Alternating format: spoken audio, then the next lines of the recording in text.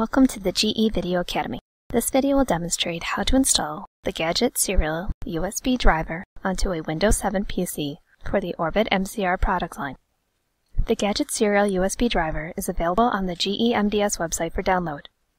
On a web browser, navigate to the link seen here to the MDS Orbit platform.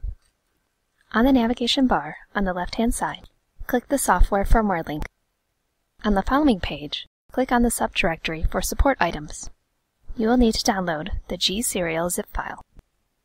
The INF file that is inside of the zip file will need to be placed onto the Windows 7 machine for installation.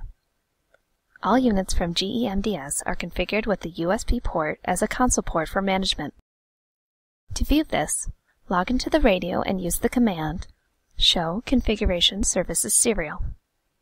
Note that USB 1 is included as a console serial port. To start, plug the USB cable into the PC, followed by plugging the cable into the Orbit. Windows should automatically detect the new hardware.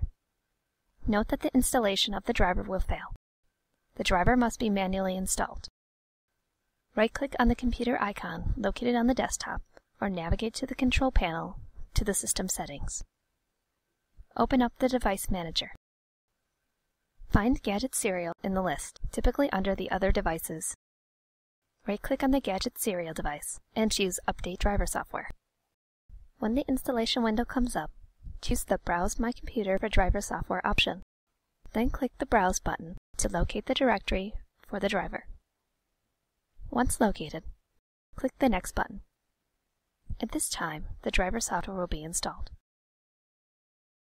Windows may warn you about the publisher of the driver, but install anyway. Once the installation is complete, close the window. Allow the Device Manager window to refresh, and then notice the COM port assignment for the Gadget serial device. Close the Device Manager window and open up a serial program. Choose the assigned COM port. The baud rate is not necessary to be configured, as the USB port auto-bauds. Click the Enter key once on the keyboard and log into the radio. The USB port can now be used just like a serial console management port.